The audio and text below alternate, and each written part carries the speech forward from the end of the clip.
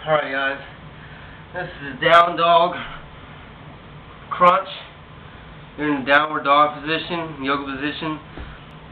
And we're going to, going to do a leg raise and bring it into our forehead as close as we can get it.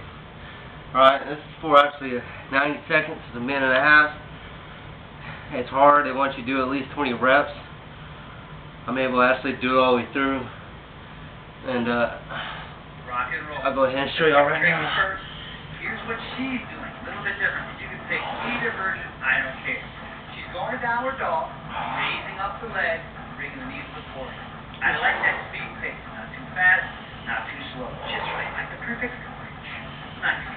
All right, okay. Whenever you Let's count. see Number six. Downward dog is good. Two mark, number marks on. Now, you don't need to put lift your leg right here. Down. That's fine. Bring it all the way up if you can. Inhale as your leg goes up. Exhale to the finishes first, forehead. Get up, towel off, and use the floor, whatever you need. Number eight. Okay, come up your own speed pace, and so should you. Awesome Maintain your form.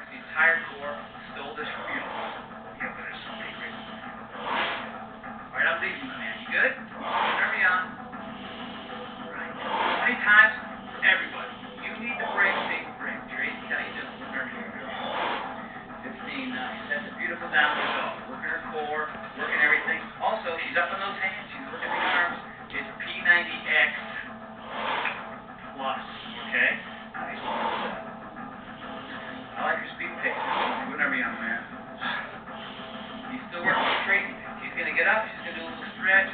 No big deal. Mark's going to finish his thing. If you're done at home, towel off, get ready, because you're going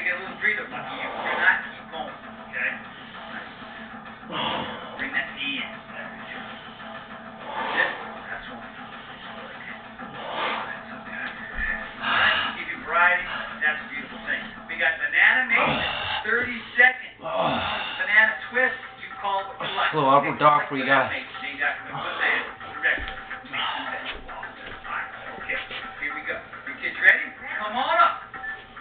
Good. One, two, three, four. We'll do a little something else for you guys. together. Look at the hands. Here.